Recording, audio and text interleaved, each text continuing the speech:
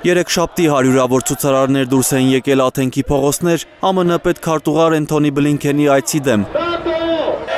Կարմիր դրոշները ձեռքներին ցուցարարները քայլել են Աթենքի կենտրոնական փողոցներով, կանգ առել ԱՄՆ դեսպանատան մոտ։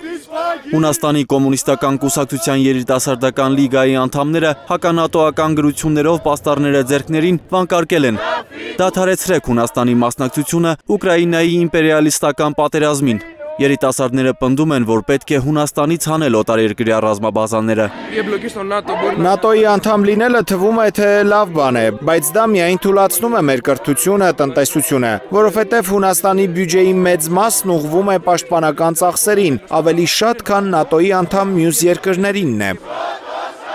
Հունաստանում ԱՄՆ դիվանագիտական առաքելության շենքը ամբողջ գիշեր շրջապատված է եղել ոստիկաններով։ Ցուցարարներից ոչ ոքի թույլ չեն տվել մոտենալ դեսպանատանը։ Երիտասարդ կոմունիստների ցույցին են միացել նաև Հունաստանում հակապատերազմական միջազգային կոմիտեի անդամները։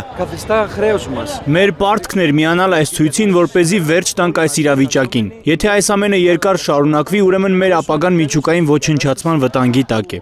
Բլինքենի այցի պատճառով բողոքի ակցիա է եղել նաև Սալոնիկում ԱՄՆ հյուպատոսության արչև։ Ամերիկայի Միացյալ Նահանգների պետքարտուղարը 5 օր կմնա Հունաստանում։ Էդգար Ղուշչյան, Արմեն Ապրեսյան, Հայլուր։